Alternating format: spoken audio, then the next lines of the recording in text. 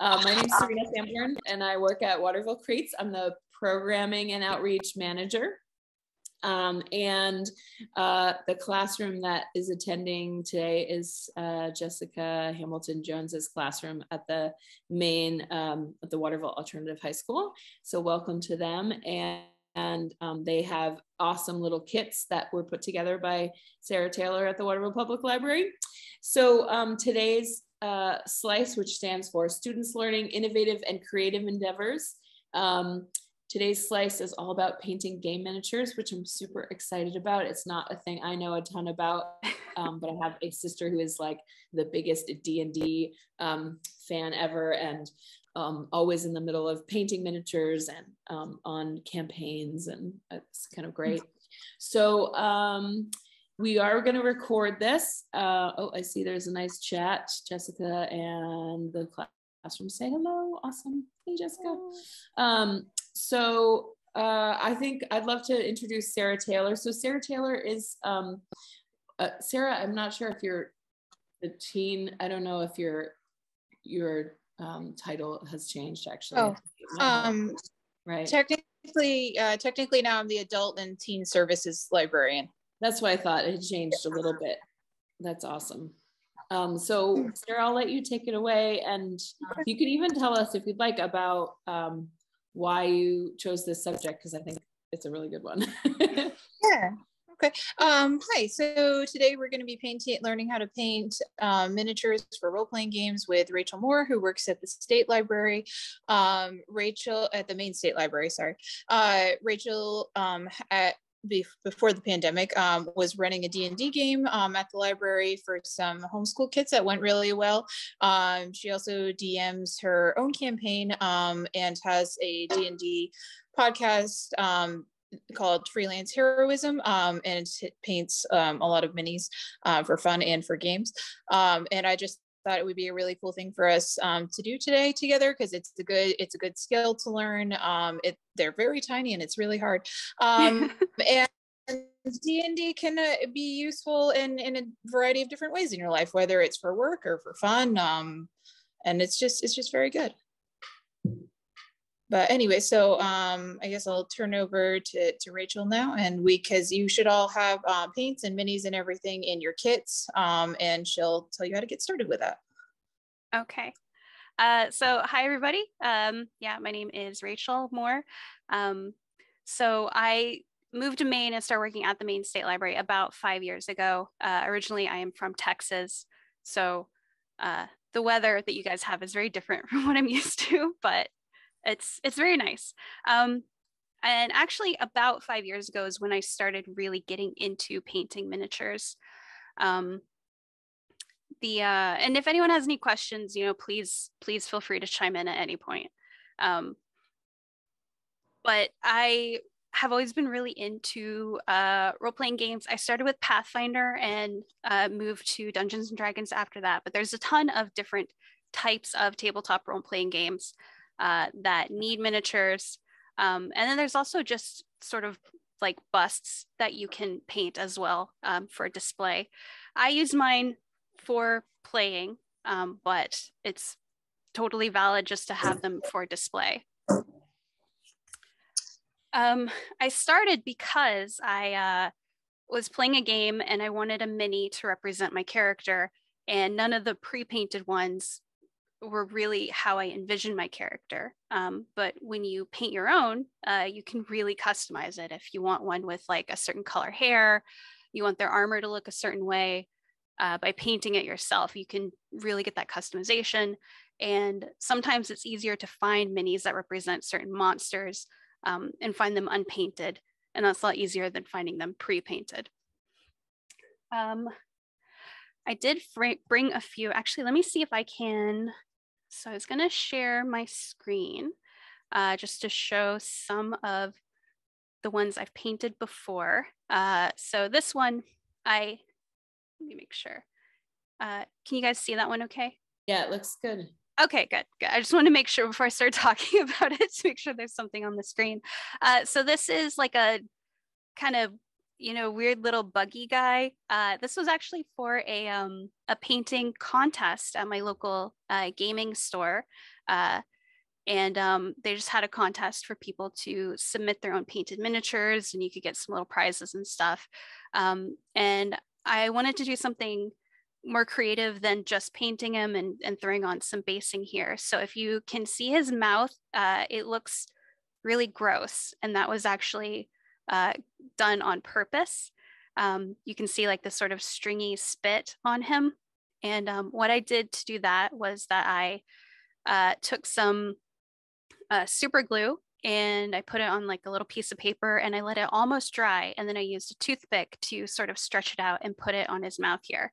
And just doing something simple like that, um, you know, with with very basic materials can give you a really cool and interesting effect.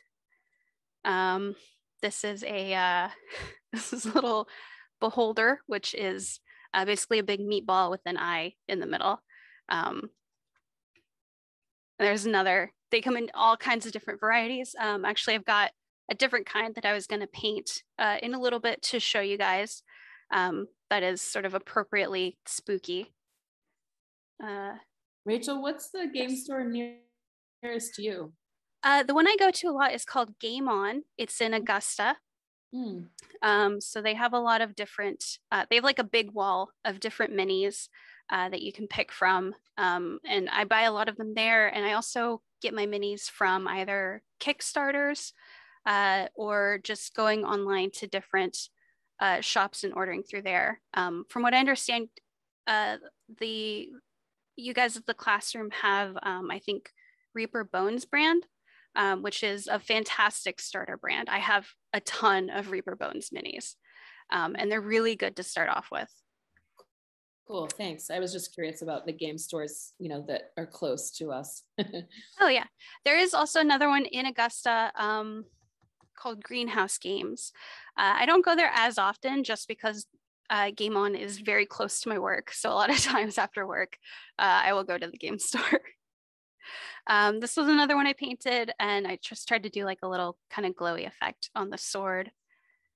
Um, this guy has sort of a Herman Munster look to him uh, but he's got a big heavy coat.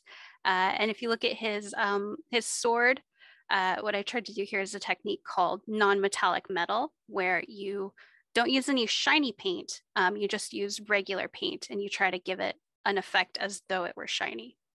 Uh, it's very difficult to achieve, uh, but I do try to practice it when I can. Uh, this guy, I really, I really like. Um, so as you can see, he's got like this sort of bumpy, rusty bits on him. Um, that wasn't from the the model itself. Um, actually I actually have um, some uh, sort of like gritty paste. It's like a texture paste, and uh, what I wanted to do, and with a lot of minis when I paint them, is that I try to figure out if they have a little bit of a story to them to give them character. And what I mean by that is that when I looked at this guy, his armor was very clean, but you know, he's got a big skull. So in my mind, he was sort of buried in the ground for a while. And if that's the case, why would his armor be smooth? So I wanted to give him a sort of rusty effect. So I took some texture paste and dabbed it on, and then I just painted it orange and yellow um, as though it were as though it were rusting. And I thought that would, um, you know, just give him some extra character uh, for you know not not a lot of effort, but I think it it really tells you more about this guy just from doing that little bit there. Um, I really like this uh, this lady. Uh, she is um, just sort of an owlbear creature. She's actually going to show up in a uh, campaign that I'm running for some friends right now. Um, which, if they were here, they would get to see like a little a little preview of it. But uh, I guess it'll be a surprise for them later. Raechel, I, there's a question in the in the chat. The classroom mm-hmm. missed what your job is. Oh, sure. Um, and yeah, and do you ever make money painting minis? Was the other part of the question. So, what's your job? Okay. yeah. Uh, so my job is um, I am a librarian generalist at the Maine State Library in Augusta. Uh, I work um, in several different places in the library. Uh, I do a lot of my work at the circulation desk. So if you come in to check out a book, I might be there at the desk to help you.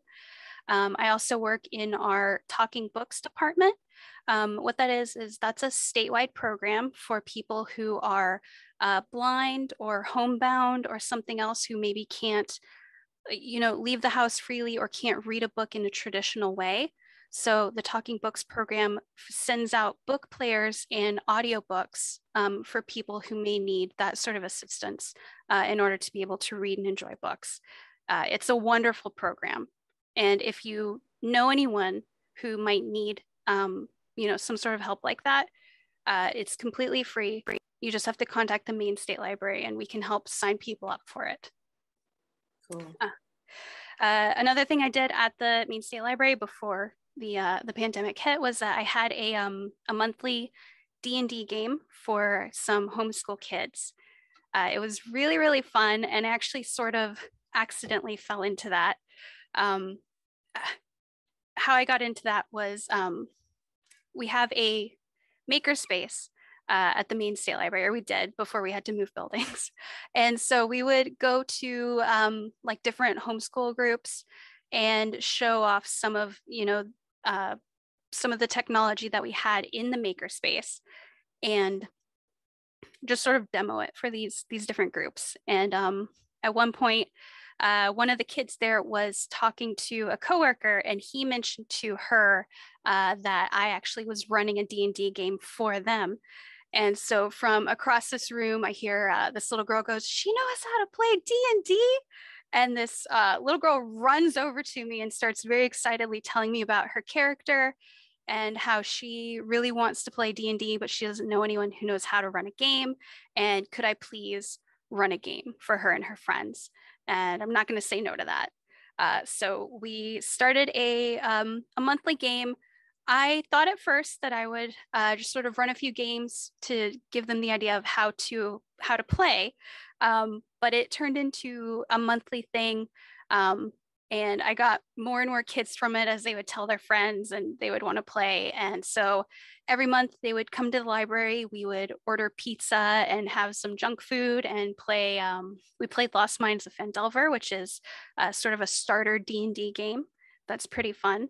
And um, they had actually just finished that up, and we were about to start a new campaign. But then the the pandemic hit, and unfortunately, we haven't been able to start back up since then uh, but hopefully we can soon. Um, the other part of the question was, do I make money painting miniatures? Is that right? Yeah, that's the other part. Okay. Um, there are people who do make money uh, painting miniatures. Um, and I have had people uh, who have paid me to to paint miniatures for them, um, usually as like uh, gifts for um, their their spouse who has a character and um, they they really wanted their spouse to have like a mini to represent their character so they they came to me and asked for help about how to how to pick something and then to paint it. With a skill like that uh, it's very important to um, record your progress. So what i did was uh, i recorded you know how much the mini cost um, how much how much it was to ship it to me and then just how from what times I would work on painting it. And then I just picked sort of a set charge by the hour amount. Um, I don't professionally, you know, seek out to to paint minis for people. I a lot of what I do is just for my own personal fun um, and for games, but it is certainly something that you can do to um to to make money and there are lots of uh, people who do it professionally and uh, also people who have uh, youtube channels where they show you you know every every week they make a video showing how to paint minis or explaining a certain technique or something like that. Uh, and there, there are some really great channels out there that i honestly watch all the time. Um, there's uh, one called squidmar and he paints a lot of minis.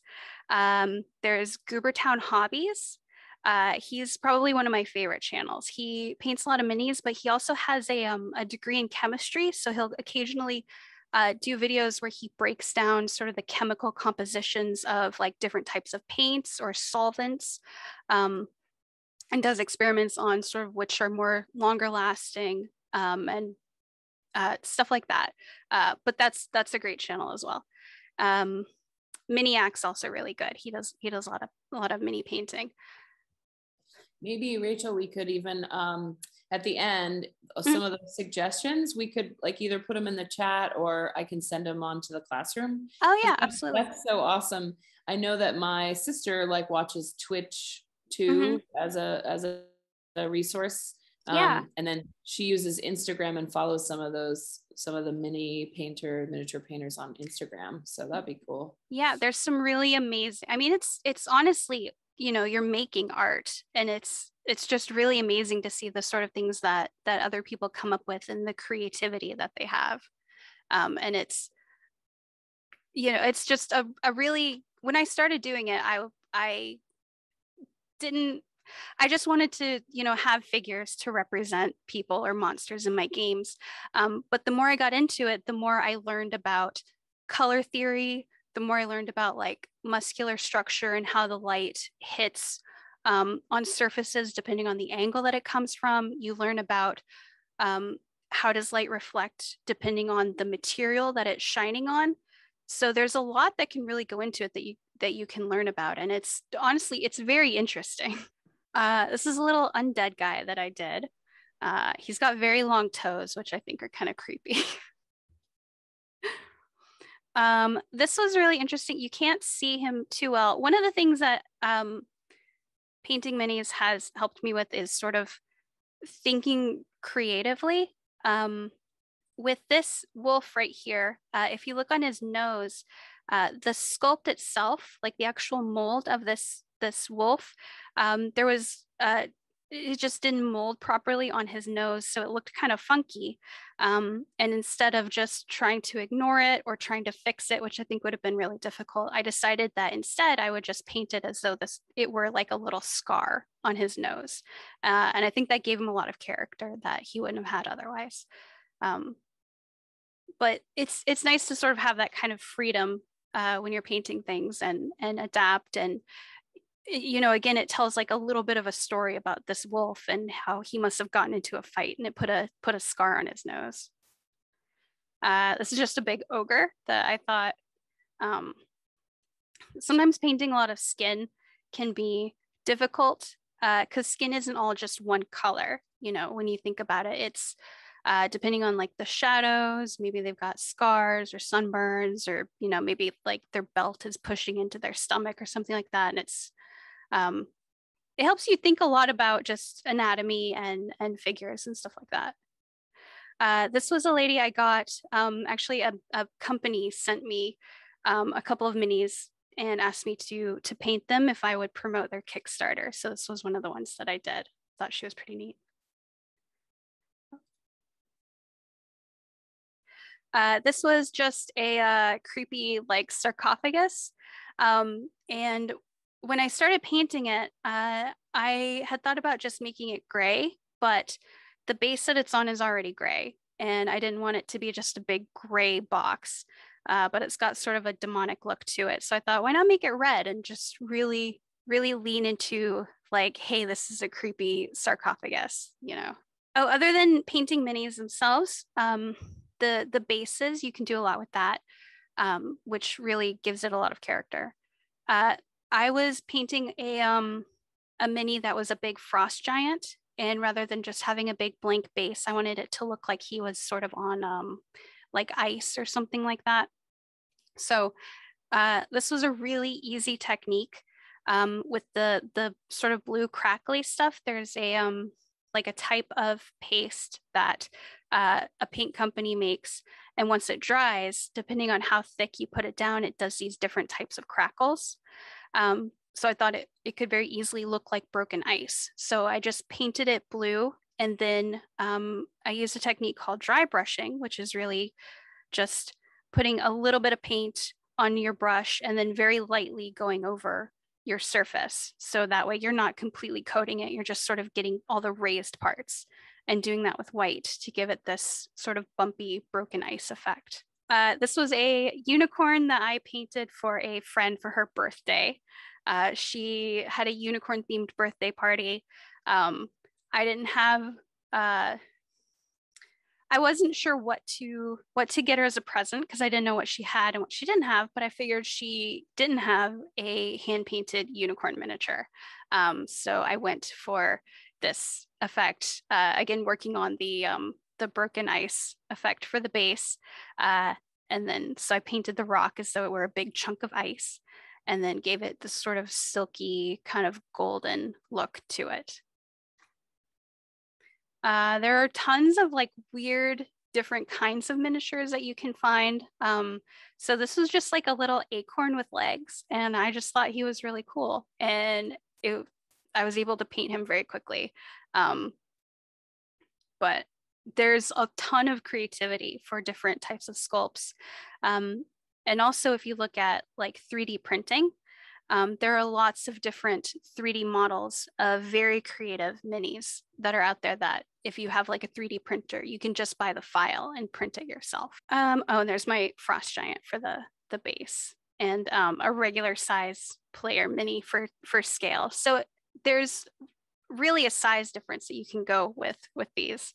Um, obviously the, the big frost giant took longer to paint. but I was pretty happy with them once he was once he was done. So what I was gonna do uh, is uh, do a little bit of a painting demo. I'm not gonna be able to finish this uh, in the next 20 to 25 minutes. Um, but I thought we could sort of go over, kind of paint together a little bit. If anyone has questions while we're painting, please feel free to ask. Um, let me switch my camera over. Raechel, on yes average, do you have a, a like how long a, a mini will take you? Can you, you know, I guess it depends on the size and all that, but it does depend on the size. And then um, part of it too is sort of uh, some of the paints. Um, there's a brand of paints called contrast paints that uh, are meant to uh, be like a kind of one coat or two coat where you don't have to use too many um, different colors. Um, but for something like um, like this lady, see if I can get focus on her. Um, like she would maybe take me um like I don't know, a few hours, not a lot, maybe like four or five hours. Usually I break it up uh, over the over like a few days Raechel, even your surface is cool. that you're using. This was a um uh, this was a birthday gift somebody got for me, and I just I love like the the image on it. I'm a big uh, H.P. Lovecraft fan, and um, so this was sort of in that in that vein. Uh, someone asked about mini holders. So there's a couple different things you can use. So like uh, this sort of handle, I bought this um, and then I've just got some poster tack underneath here uh, to keep her on the, the base. Um, so you can use these, or if you don't want to go out and buy something, which is perfectly valid. Uh, what I used for a long time was like uh, empty paint bottles or like old pill bottles, and you can sort of weigh them down if you put like sand or rocks inside of them, and then give it like some weight, and then just use poster tack to to keep your mini um, what I've got here was the one I thought I would paint a little bit since it is it is spooky season and the sky uh, is very Halloween festive. and he's on his own little base. Uh, this is a jack-o'-lantern beholder. So um, a beholder is a type of monster in D&D. It's a big eyeball and he's got like little eyeballs sort of radiating out from him. Uh, but I thought he was really, I thought he was really funny and sort of appropriate for um, for today. Um, but I've got him on double-sided tape uh, just because with the bigger minis, it's harder, I think, for the poster tack to keep them on. So I just bought some little double-sided tape from Amazon to, to use. And so he'll peel off really easily. Um, when you paint minis, uh, I know the Reaper bones, you don't have to prime them. Um, and priming is where you just sort of, uh, like with this guy, I just use a spray paint Um, but there's also like a canvas primer. I use this for a long time. Um, and it's basically just to help the paint stick better to the figure. But like I said, with the Reaper Bones, you don't, as long as the paint you're using isn't too watered down, um, you don't have to prime it. You might hear my cat in the background. He thinks I'm talking to him. um, so some tools that you need other than maybe something to, and to hold on to the mini like with the base. This way I don't have to like actually touch it while I'm painting it because I don't want to smear the paint. You know, you have oils on your on your hands. So um, whatever I can do to lessen sort of interfering with the paint, all the better. Um, you also need a palette to actually hold your paint. Uh, this is a wet palette. You don't have to have this. Um, you can just use, you know, like a paper plate with your paint on it. Uh, but what a wet palette is, is that there's a, um, like a sponge underneath. And then I've got like a little like parchment paper, basically. Um, and this just sort of helps keep the paint that I put on top of it kind of moist so it doesn't dry out too quickly. Um, but you don't need this unless you're painting a lot. Um, I try to paint, you know, at least a few nights a week. Oh, my cat is still talking to me. I'm so sorry. um, but um, so that's what I use. But again, you don't you don't need something like that. Um, one thing you do need is just like a cup of water. Um, for the longest time, I just used an old like plastic cup. Uh, this is like a slightly fancy brush cleaner in that it has this sort of metal coil about halfway down, and that's for you to run your brush on top of. So that way it helps get the paint, and then the paint goes underneath the coils to help kind of keep the top half of the water more clear. And of course you need uh, paints. Uh, I picked some out from here.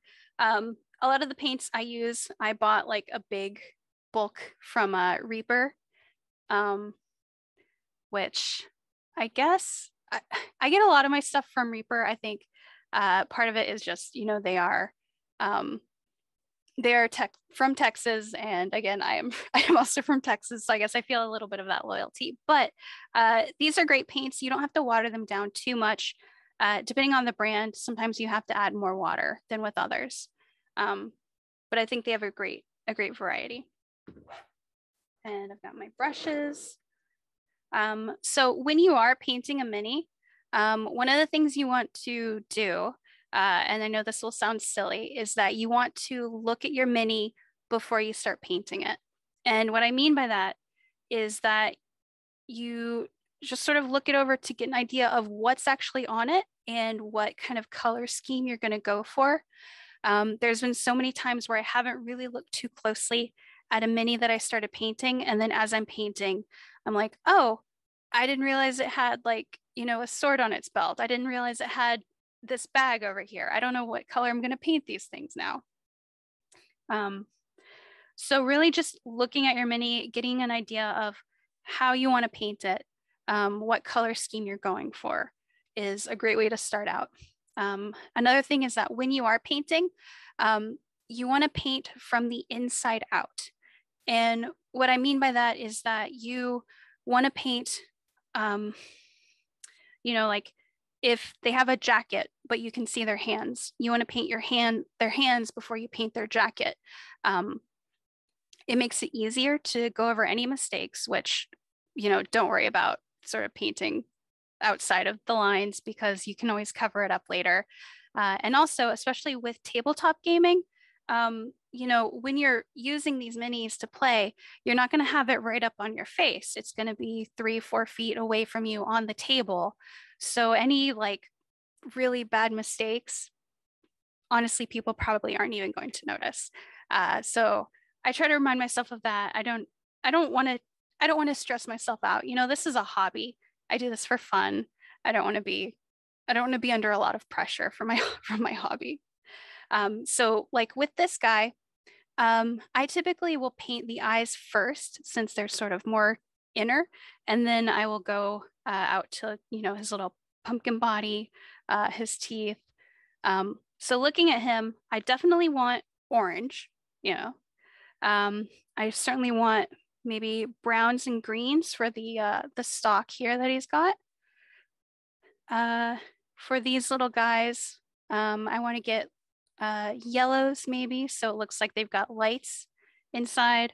Um, down here at the base, he's got more pumpkins, uh, but these are kind of, honestly, these look kind of gross. These look like rotten pumpkins. So I think for these, I want to do maybe like, I'll mix together brown and orange. So it looks like they're, you know, sort of on their way out. Uh, he's got a stem, so he doesn't have too many details. If you really think about it, he's just got, you know, the stem, his head, he's got his little eyeball buddies. Uh, so even though he's kind of he's kind of big, he's gonna have a pretty basic uh, color scheme. And um, one thing I can do uh, to try to add like extra different little pops of color, uh, you know, I could give him a really funky eyeball color. Um, with his teeth, you can see his gums a little bit. So maybe I want to add in some pink on his gums just to give it a little bit of an interest. But you don't have to add, you know, you don't want to add every single color to him. You want to sort of have like a coherent color scheme going on. So uh, one of the things that I often do with eyeballs, because I'm going to start with this eyeball first, is um, I'll sort of line it with like a darker color. And I'm just shaking my paint right now uh, just to sort of make the eye pop a little bit more. I put way too much brown on my palette. uh, let's see. So, oh, and you probably want to have like a, a, just a paper towel to wipe uh, excess water or your paint. So I'm going to put some paint on my paintbrush and then I'm going to wipe a little bit of it off because I don't I don't want too much. Uh, let me see if I can get them in frame. Uh, and so what I'm going to do, and it's okay that I'm being sloppy. It is totally fine. Uh, I'm just sort of lining the corners uh, just because by outlining it, it'll make his eye look more um, like more, you know, like you can see his eye better because it's, it's got a little outline on it.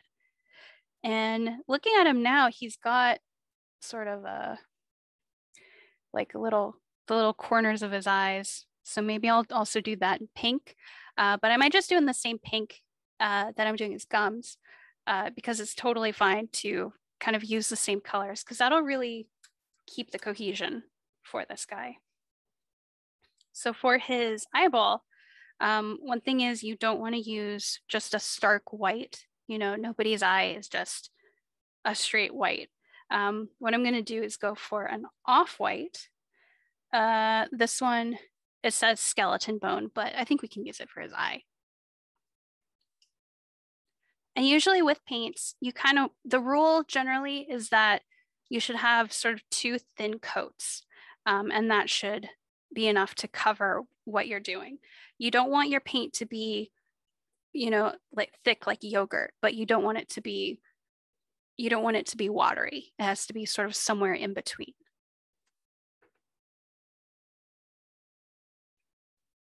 So I'm going to use a big brush because he has a big eyeball.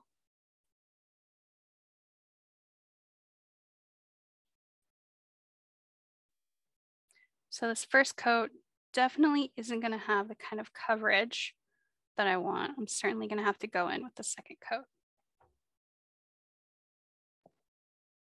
Raechel, do you have to let it dry before you do the second coat? Um, if the paint is thick, then you do want to let it dry. Um, usually what I do if there's uh, like a lot that needs to dry is that I'll just move on to a different part of it to paint.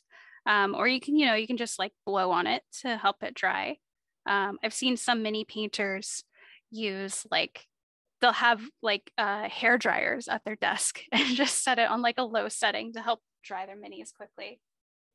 That's so cool. Do you also have a um, uh like do you have a magnifying glass that you ever use or you i don't know i was just curious. Uh, i don't i don't but um there are and one of my friends who he also paints minis he has um like the little glasses with the magnifier. Um i haven't i don't have a pair of those. I feel like you know maybe when i get older i might need one. Uh, but uh i don't i don't have one right now. Um but certainly like with this especially if you have a smaller figure you would you would probably want something like that. Uh, while his eyeball dries, why don't we, uh, I want to break out this pink. Maybe we can paint his gums a little bit. And Raechel, just so you know, the classroom has already they've they've been diving in already. Oh, good. They sent me some progress photos, so I will send you some of those at some Oh, point. yes, this is- please. This is great because I think as you paint, they'll get some tips on how to, you know, Mhm. you know, like the eyeball tip is a good one, like stuff like that as they go. It's so Yeah. cool. There is, um, and I can show it. Actually, yeah. Why don't I show? I'll show it on one of the um one of the little pumpkin head guys. Um, so typically, when you are painting something, um, you want sort of like if there are if they have like a cape and there are folds in the cape, or um, you know just natural folds in cloth, or like how this guy has the uh, you know the little like ridges in his little pumpkin body. Um, typically, folds like that or things that are underneath, um, those are going to be darker because you want to consider, you know, where is the light coming from? And typically with minis, you just sort of assume that the light is above them, maybe like off to one side. So anything, you know, like in the recesses is going to be darker, and things that are, um, you know, closer to the top or closer to the light source, those will be a little bit brighter. Um, so like with this guy, when I paint him, oh, uh, you know, I'll probably do like these little folds darker. Um, however, that's not the case when you're painting things that have a light source. Um, if you look at light or you look at fire, um, it's brighter on the inside and it gets darker on the outside, uh, which is completely opposite to how how else you might you might paint your mini. Um, so like with these little pumpkin guys, um, I would do probably like the very center of their eyes, like a bright yellow. And then as it went out, I would deepen it to like an orange or a red. Um, but for light sources, like if, um, for example, she's got like a little lantern in her, if I can get it to focus. Uh, she has a little lantern on her staff. Um, and so I would paint like the very center of the lantern, uh, like a bright yellow and then as I went out, I would deepen it to to orange um, because you know the brightest part is going to be the flame in the center.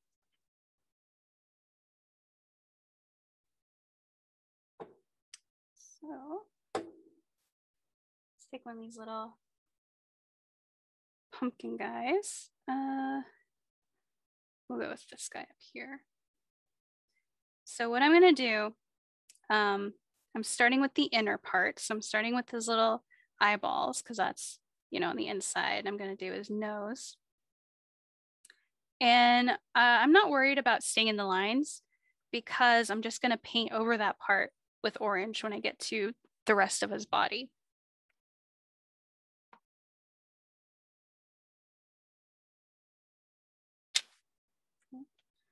Just keeps falling off space. I'm going to hold him for a second.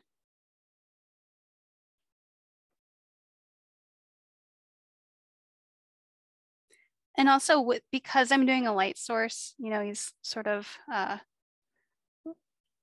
it's coming out of the lines a little bit, but honestly, you could also leave that since the light would be spilling out of him anyway.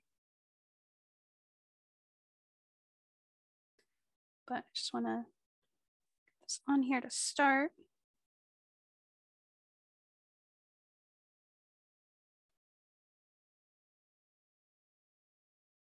There's also a really cool technique uh, in mini painting, uh, and it's called kit bashing. And what that is, is um, if you took maybe a couple minis and you like the head on one, but you don't like the head on the other, you could swap them out. Um, I've seen people do this for just different minis that are like the same size. I've seen people take like uh, little action figures from the dollar store and change them up.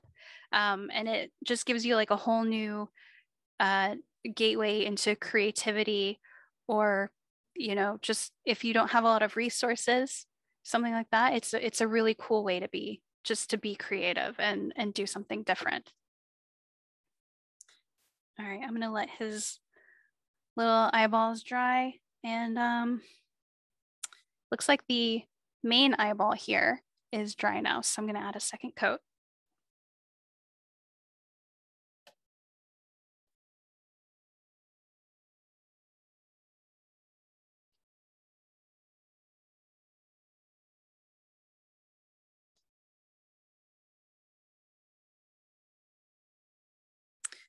Can see that's pretty good. And you can see definitely there is like a an off-white versus the white of the rest of his body that's been spray painted. So there's definitely a difference there.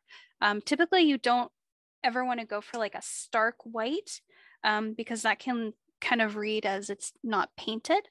Um, actually, not too long ago, I painted a white dragon. I don't know how well she'll she'll be in frame. Um, and it was actually surprisingly difficult because I didn't want to just do plain white because then she's not going to look like she's painted. So I decided to take some light grays. You can see she's got some blues. There's some very light purple. And, um, you know, you want to highlight those up to white. Um, but you don't want it to be just a flat white because then, you know, that looks, that looks a little boring. Uh, also, I, I put this against my players a few weeks ago. They were level four and uh, they had to run away from her. It was, it was a very fun game. Raechel, it's one of the things I realize as an artist that one of the things you learn is like hardly anything's really true white. yes. yeah. Like it has shadow and color in it. Like mm-hmm. when people paint snow, it's like, well, there's blue and purple and yeah. right. Yeah. So let's see. I kind of want to give him, let's see, I don't want to give him a red eye because I'm going to do some sort of like little red in the corners of his eyes, like little veins. So maybe I'll give him a big green eye. Uh, so we don't want uh, to just do like a flat green. Uh, so what we can do is I'm going to start with my mid-tone and your mid-tone is kind of what you want the overall color to read as. Uh, so I'm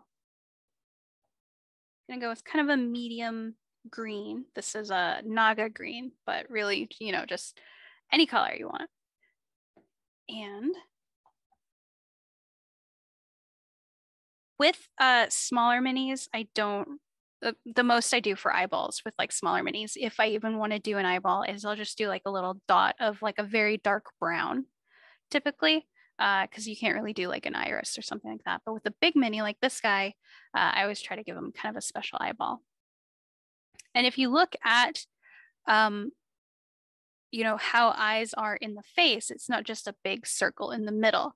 Um, it's sort of a, uh, you know, you might see like the the bottom curve of the eye, but going up to the top, it sort of goes up into the, uh, the eyelid.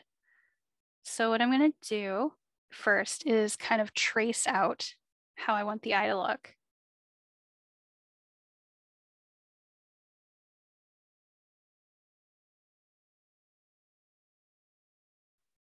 Another coat. And I'm just doing the lines of it first. Um, and if I mess up any of the lines, then I know I can just get my, uh, my off-white and cover up any of my mistakes. So I've got his line for his eye like that. I'm pretty happy with how that looks. I'm gonna go ahead and fill it in.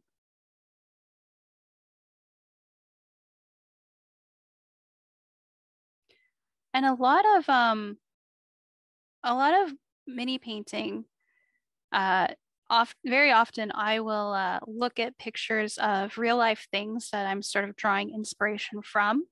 So if you look at photos of eyes, you know, nobody's eye typically is just one solid color. There's a lot of depth. Um, you know, there's lighter and darker bits in it. You know, maybe maybe they've got like some brown or yellow or something like that. So I can go ahead and add those in. Um, and not completely cover it up, but just add like different little little speckles or something like that.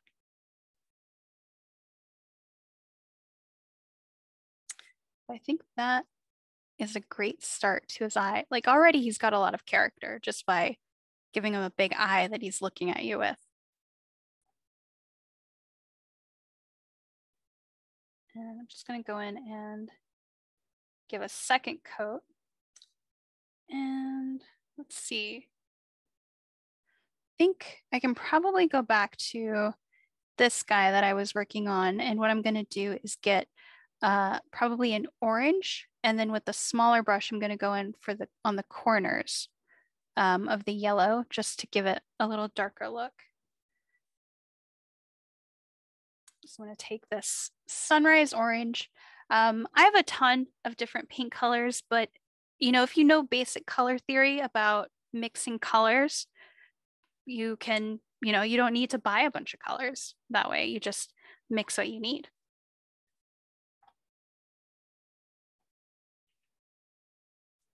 Uh, let's see.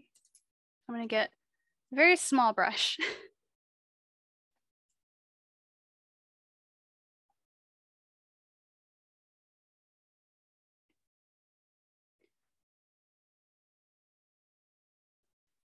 And really, I'm just going for kind of the corners.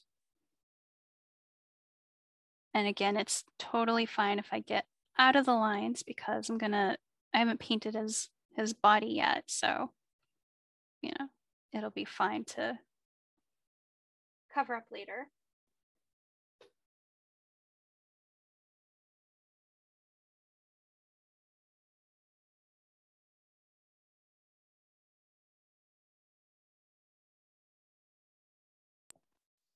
So there's a question in the chat for you, Raechel. Um, Mhm.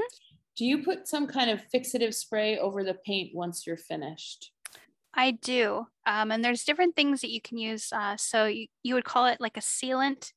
Um, I always go for a matte or like a flat sealant. Um, there are other kinds. You can get like shiny ones, but um, I usually don't want my minis to look shiny when I'm done with them. I want them to have like a flat cover. Um, you can typically get those kind of sealants. You can either get them in like a spray can form. Um, there's also like a brush on sealant. Uh, usually I only use that if um, maybe the weather is not nice and I can't go outside to spray anything. Because uh, usually you don't, if it's really wet outside, you don't want to take your minis out to try to spray them then because um, the the moisture in the air can interfere with the the spray, uh, which is why I'll I will sometimes still use the uh, the canvas primer that I have. Um, the downside with this though is that it takes a while to dry. Um, but if my choice is either this or I can't go outside to spray, then you know I'll use this. I'll prime a few and then wait maybe an hour or so to make sure that it's dried. Um, but typically, especially if you're going to use them a lot, uh, you do want to have like a seal on them because um, they can start chipping, uh, especially if you know you put them in like a bag or something. They're bumping around on the table. Any sort of raised surfaces will start to get chipped. Um, and Raechel, I'm going to just do a time check because we have about nine minutes left, which I realize oh, sure just not very much time. um, I'm sorry. oh no, it's um, fine. But this has been just so cool to see this process. Um, so maybe um, I'm gonna see if any of the. So I know the students in the classroom have mm-hmm. leapt in, and I wanted to see if any of them had questions. So it'll take probably a minute for their teacher to type in the chat. But if sure. um, Mrs. Jones's classroom has has questions for you, but also I was curious. So um, I don't know. I think it's this is pretty fascinating that like as you go, I'm realizing, oh yeah, the time here. this is a lot of time, but it's such a meditative process. It's so cool. Yeah. Um, but I was also curious, like when you're doing, so once you do like the bigger surfaces, which you're just starting, mm-hmm is it usually all one color? Or are you are you also it seems like you have been putting in other other colors into there to to give it like shape or or whatever. yeah so um yeah i like when i start i definitely try to figure out a a color scheme first. Um so i try to figure out sort of the main colors i want to have.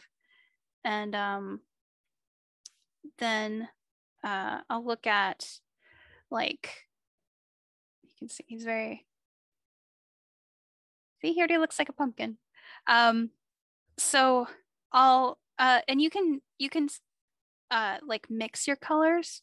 So uh, rather than um, like if I have a, a brown and a green and I want another color that's that's kind of in between, rather than finding one that's already mixed, uh, what you can do to help give like your uh, your mini sort of overall cohesion is just mix those colors that you already have on your palette rather than introducing new ones because you don't want to have you know you don't want it to look like a like a clown unless you're actually painting a clown. Um, so we do have a question about podcasting. Uh-huh. um, would you be willing to speak a bit about your podcast and maybe what it's like to be a podcast host? Oh, um, absolutely i think also for me i think that's such an interesting career piece um, too like another part of of how to have a well-rounded life you know? Yeah. Uh, so the podcast i'm in is called freelance heroism. Uh, we are an actual play d&d podcast. Uh, what that means is that me and my friends uh, we play d&d together and we record it. Um, and then uh, i'm actually also the editor for the podcast so i started out editing using a free software called audacity which is a great beginner software if you're if you have any sort of interest in editing audio. Um, I recently moved over to Reaper software, which uh, is is more robust and also has video editing capabilities. Um, but we started out. Uh, we just wanted to play together. Uh, we all thought we were pretty funny, so why not uh, make a make a podcast? Um, so we have it available through like uh, Spotify, YouTube, iHeartRadio, um, you know, sort of everywhere that you can you can find a podcast. We're probably we're probably linked there. Uh, I typically look at so when we started, I wanted to look at um, you know, a release schedule, and I thought um, I looked at I considered what I look for in a podcast. So I didn't want to have an episode that was longer than an hour because with when I listen to podcasts, um, you know, I think about an hour is like a good a good time for me. So every week we release an hour long episode that's, you know, usually cut up from like a, a big three or four hour gaming block that we did. And um, you know, we'll do uh, a little introduction for it that we record sort of a couple days before the episode is released. And um, I'll typically write up like a very quick kind of blurb about oh this is what happens in in you know this week's podcast. Uh, we have a, uh, a patreon which has helped cover uh, our, our, production costs which is really nice. Um, and it's it's been a great project. I've honestly learned a lot from uh, audio editing and it's really given me a, an appreciation for uh, things like sound effects and music and timing, which was something I never really had considered before I started editing or uh, even doing a podcast. Um, it's it's been really fun. Uh, usually, I'm not the DM for that game. I have I also have another game that I play in person. I am the DM for that one, and so we use the minis. And then for the the homeschool game, uh, I was the DM there but we'll sometimes sort of trade off on who's going to host a game for you know a, a few sessions um, it's been it's been really fun it is kind of surreal to have people uh, message us and comment about you know whatever happened in the uh, the recent game uh, we started playing maybe like three or so years ago three or four years ago and i made some like comment about my character and it immediately resulted in uh, me getting a nickname. I'd made a comment that my character was sort of following the rest of the party around like a like a duckling that had imprinted on them, and uh, from that moment on, uh, my nickname, both in the podcast and outside of it, when other people that I don't know message us about our podcast, is that they'll refer to me as Ducky. Uh, it's been it's been very weird, but it's it's definitely very cool. That's awesome. Um, the the classroom teacher said um, they don't have questions, but they're actually preparing to take their minis with them into study hall. Oh, that's and, awesome! And that they're pretty delighted to have the minis um, from the kit. So thanks again to Sarah Taylor. Excellent. Um, well, I uh, I hope I can see the uh, the finished products. I yeah. I love to see other people's creativity and um, you know how they how they interpret you know what the the story is behind their mini or the color Mhm. scheme they want to do there's some really fantastic stuff out there and honestly it's such a great hobby um Yeah. It does seem like there's a lot of creativity that takes place in what's this backstory of your character too. mhm. That Yeah. Um, which is so fascinating. Um, by the way, it would also be great when you're done this mini, which I know is going to take you a while. you could, if you want it, if you would, send us a photo of it um, eventually. yeah absolutely Okay. uh i'm not sure if i can be done by halloween but i Yeah. will i will definitely try um that's a, whatever works i feel like we could add it into the, the video at the end you know later Sure. on too just Okay. just so people can see it all right. Let's see if i can get a cat cameo real quick. I'm washed out because i have my light on. All right. This is horace. Oh horace you're adorable. He is, he is a rescue. They found him as a kitten outside of the uh, the local PetSmart. Aw. Oh look at him he likes whatever you're doing he's like oh that's great This is Anhur, spelled A N H U R. He is named after an Egyptian lion-headed god because clearly he is a lion. i love him Well, thanks thanks for having me. yeah Yay. thanks Raechel that was awesome Great. yeah i feel like we could have made it much longer oh well okay all right thanks sarah too that was Thank awesome you. All Yes, right. thank, thank you, Serena, and thanks so much for coming, Raechel. That was real. That was awesome. Good, good. I'm glad. Thank you. Thank you again for inviting me.